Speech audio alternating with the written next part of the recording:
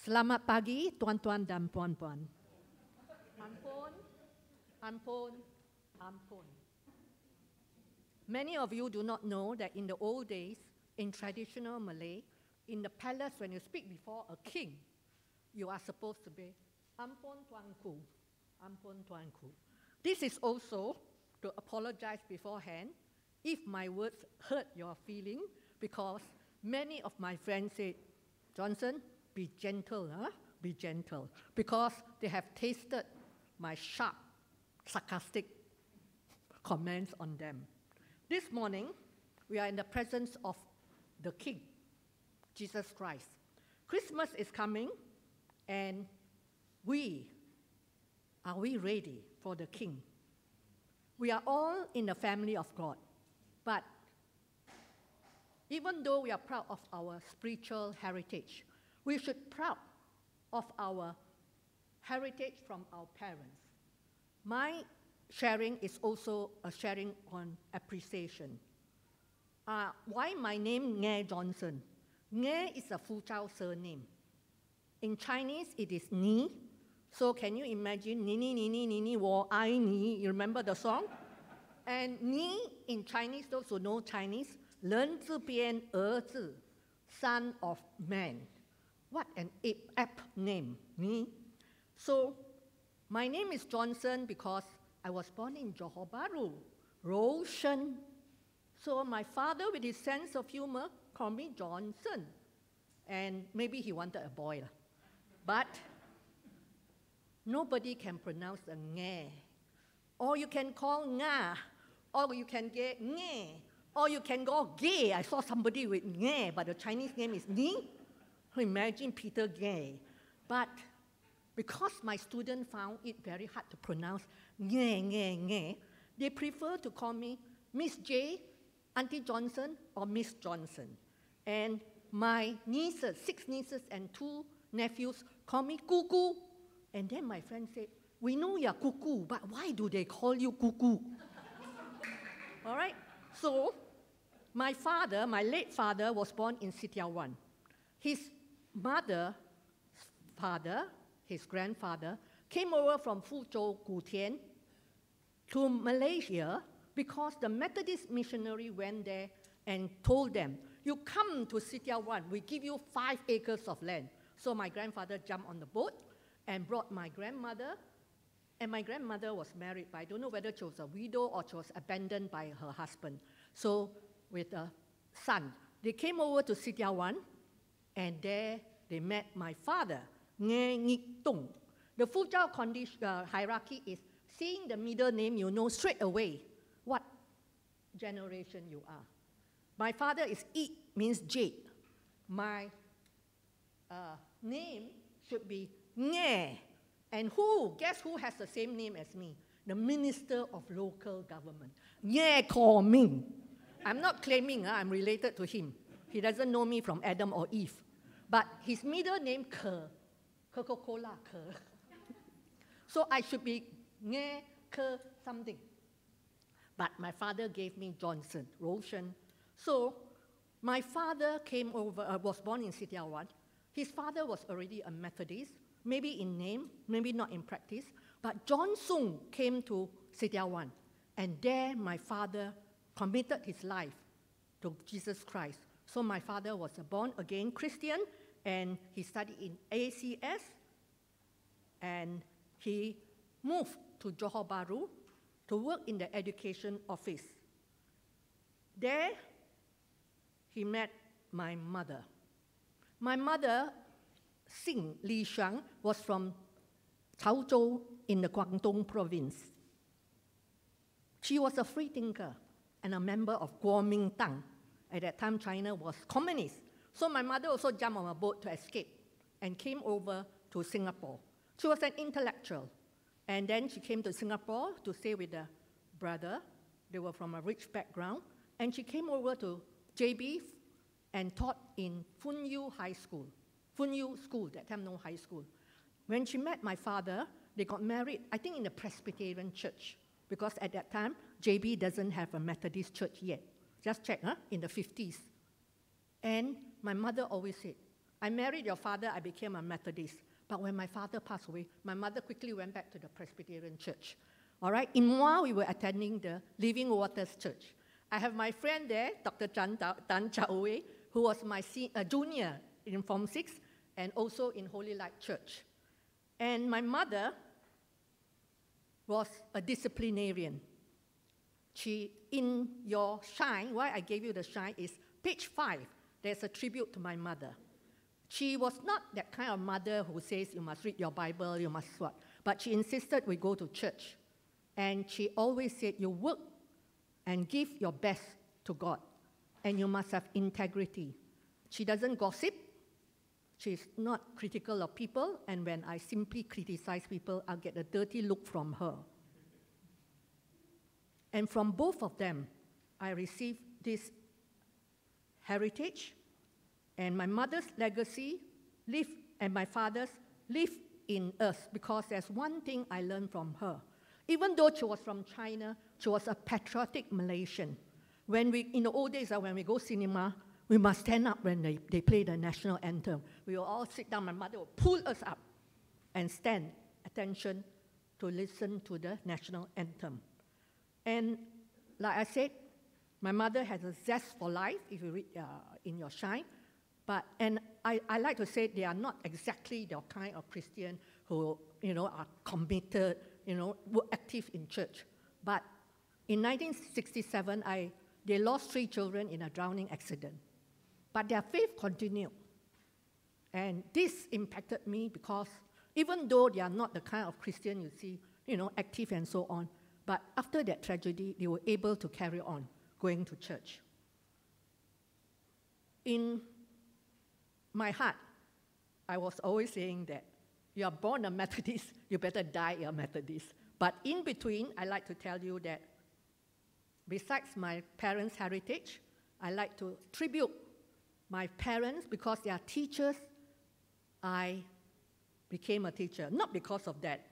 I, how many of you want to be a teacher? You want to be engineer, doctors, huh? and so on, lawyer. But when I was studying in Segamat, I grew up in Segamat and attended the MYF there. I must say the MYF has produced three pastors. Pastor Peter C., Covenant Church in Kuala Lumpur, Pastor Vergis George in the church in JB, and Pastor Ong Siu Huat, a pastor in London, Chinese church. And when I was studying in Form 6, I went to a different town, Muar town. There I was liberated. My parents are not watching over me. I went wild. Wild in the sense that Sunday I'll go to church. But in Form 6 classes, I'll go to the upper 6 boys class, you know, the admits class got lots of boys, and chat with them. And then in the evening, I'll cycle to Tanjong Seaside and date the boys. And as a result of that, two years of Sunday go to church, Living Water Church. The rest of the day, I live for myself. As a result of that, my Form 6 result came out. Glorious result. E E O O. The donkeys E E O O. With E E O O, you know, I can't get into any university. And during my time, it is University of Malaya. All right? The one and only. Don't have private colleges now, you can pay money and get in. But the Lord was grace, grace, gracious and merciful. You won't believe it. I got a federal teaching scholarship, which not only allowed me to get into University of Malaya and gave me money, stipend. And so when I was in MU, I said, I better be good. Every Sunday, I'll go to the Trinity Methodist Church because why? The bus comes and fetch me. All right? Like the rest of the days, again, I'm back to, I live myself. Saturday night in my college got disco, and I was on the committee. So every Saturday night, you know, I'll be discoing away. And then on Sunday, I sit at the Trinity Church, all right, being a very good girl. And uh, I would also like to share with you use your talent when young for God. Because when I was young and not so young, when I was young, my mother sent me for piano lesson, vocal lesson. I reached piano lesson grade 8. All right? I used to play in the church because you know, no choice. And then I played for BSF. But in my heart, I was saying, Ayo, it's a torture, have to practice. All right? I must remind you if you don't make use your talent or your skill, God will take it away. Now I can't play Do Re Mi even. All right? And I used to be able to write. All right? In your hands is a magazine called InStep. I was in the part-time worker for Teacher Christian Fellowship, and I was able to write. And in Shine, page five, is a tribute to my mother. Appreciate your parents when they're alive with you. Don't wait until they die and write a beautiful tribute. For my mother, when she was alive, I wrote an essay to New Straits Times Mother of the Year Award. I forgot which year. And she went to KL to collect the prize. All right, for that, I was grateful. But after she passed away, I wrote the tribute to her. Also, all right, make use of your talent. I was an English teacher. Now, my grammar has gone to the dogs or the cats, and my pronunciation. I had, God gave me, God rewarded me very, very much. You know, when you, my first posting was Kelantan, I went willingly because God has given me the scholarship. But today, there are many people, students of mine, who the Malaysian government sent to England. They don't come back. They don't even serve it. But one of my students came back, served it, and she went back and became a doctor. Now she's a doctor in Newcastle, so she looked forward. All right? So a doctor can be a teacher, a teacher can be a doctor.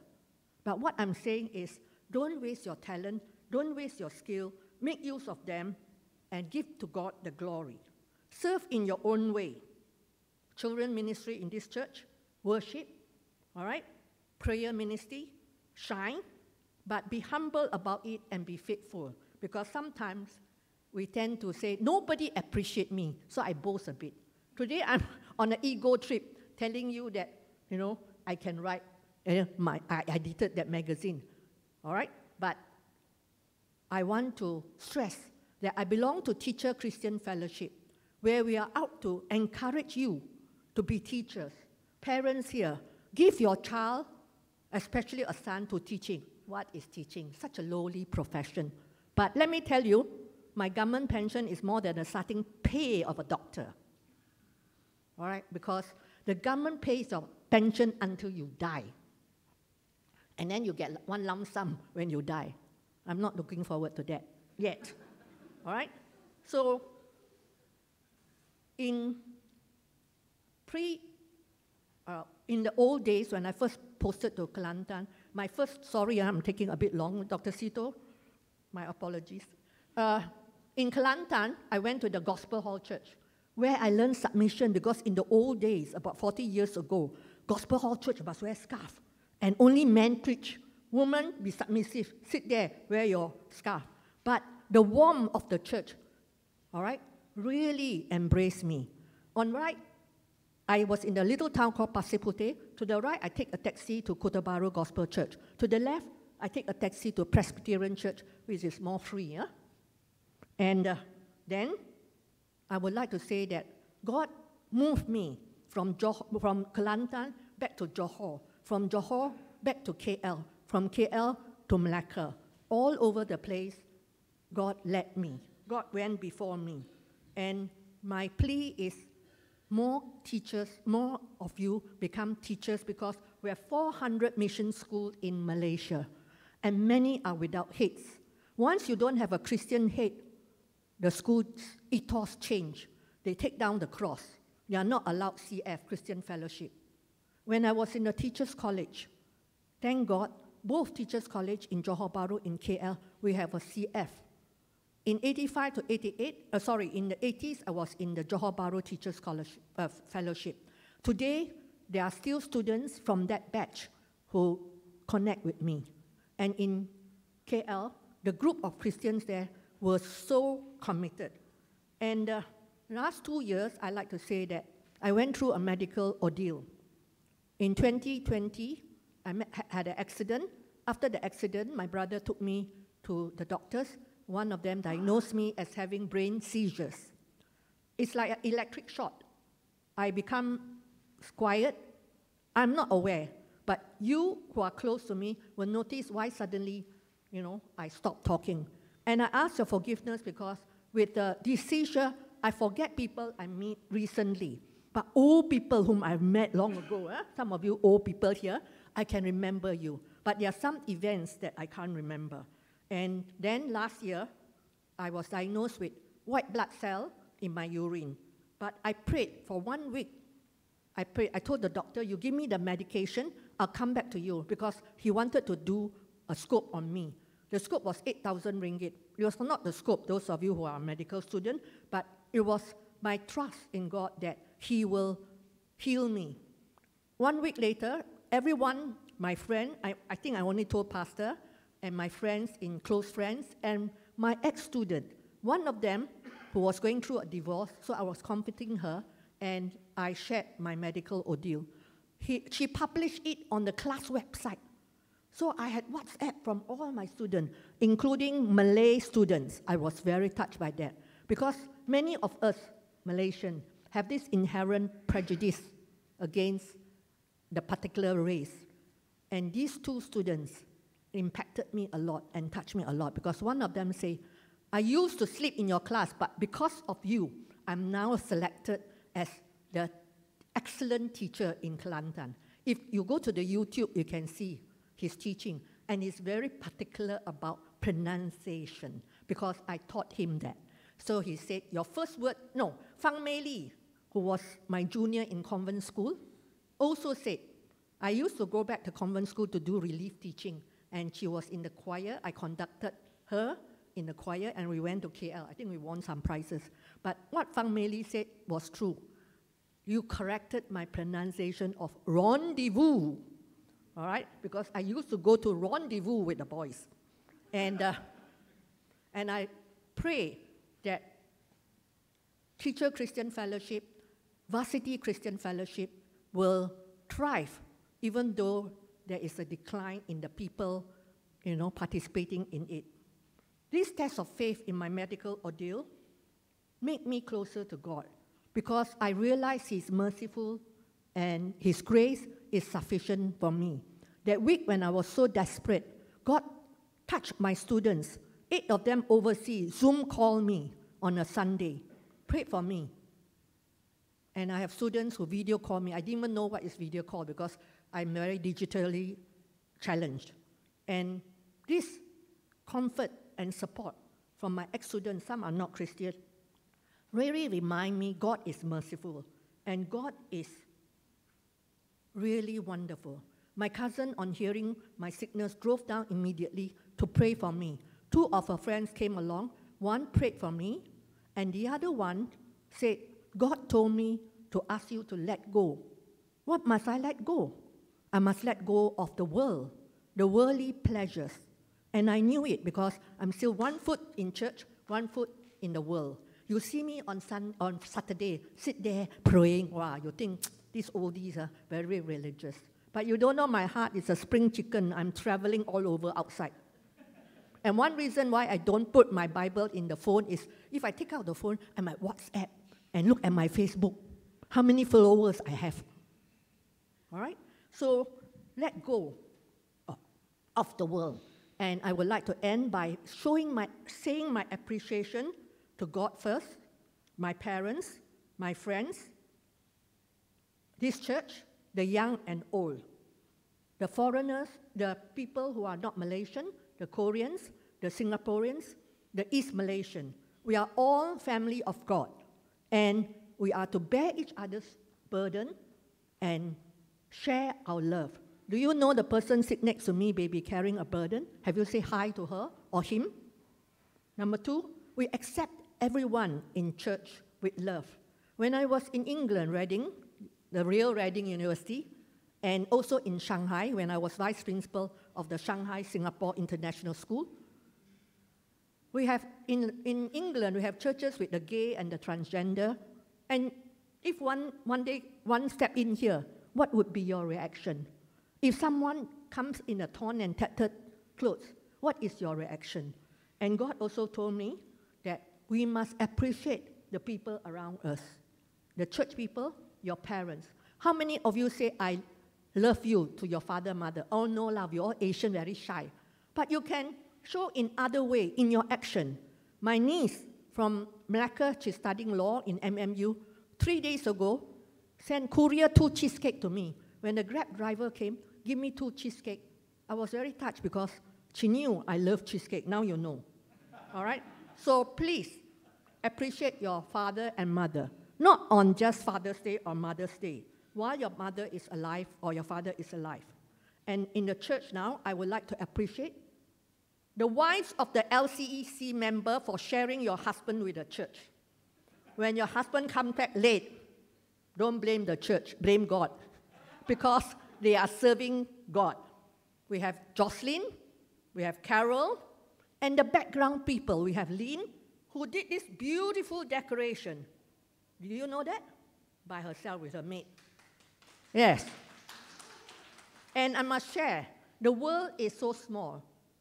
I used to visit Lynn's neighbor, and she was a teenager, I think, at that time, coming in and out of the house. But today she's here. And I lectured her cousin, Sarah Tam, who is now in America. The world is really very small. Chow Wei, my Muar from sixth class, I mean, junior. Mei Li from Segamat. Nancy from the old days, where is Nancy? When she used to worship in the, uh, when she used to stay next door to Johor Bahru Gospel Hall. I want to say thank you to my small group before, Alpha and Omega. We used to meet in Lynn's home. And one of my friends, who's now coming to our church when she's not in KL, said when she went to Lynn's home, she felt her hospitality and her warmth. I want to thank the young people because they have brought life into this church. Ernest, where are you? And the worship team. All right? Play a bit faster lah, because I miss, I miss the American African church where you can clap and sing and dance. Remind me of my disco days. Okay? All right? And I would like to thank people of this church, uh, Irene and Terence, who gives lifts to me and who takes me out for makan because Terence and I are foodies uh, yes, the Lord asked me to let go, but this makan part very hard. And I like to thank Mei Chan, my BSF leader, for coming to support me today, and Chow Wei for uh, coming from his busy schedule because not only is he a doctor, he's a lecturer, he's also pastoring a Chinese Presbyterian church. So I would like to thank all of you, and God's message for me and to all of you is to reconnect and connect. Reconnect with your old friends and connect with the new people around you. And to love all, be humble, treat each other with dignity. I used to look at these young people and say, ah lah, these young people, what do they know? We, the old one, have eaten more salt than you. Am I right? So I like to say we are all neighbors Love thy neighbors. The Singaporean, you are my neighbor. I have to love you. No choice. Huh? We are the roti, you are the kaya. We are the Romeo, you are the Juliet. All right? And uh, the world is round. Appreciate people around. I like to say last, I appreciate pastor because when my friend's mother died, when she first came here, she asked me, can you get a pastor to come and conduct the funeral? Pastor and Mr. T went all the way to Kulaya, to conduct the funeral. Not many people will do that. So I would like to end by saying that I surrender all to God, my worldly pleasures, and, and uh, everything else. And also this morning, my daily reading was do not be too rich or too poor. Too rich, you become proud. Too poor, you might end up stealing. Just enough, your daily bread. Pursue God with contentment. God the provider, and we are his steward. So be content, and once again, I express my thanks to all of you.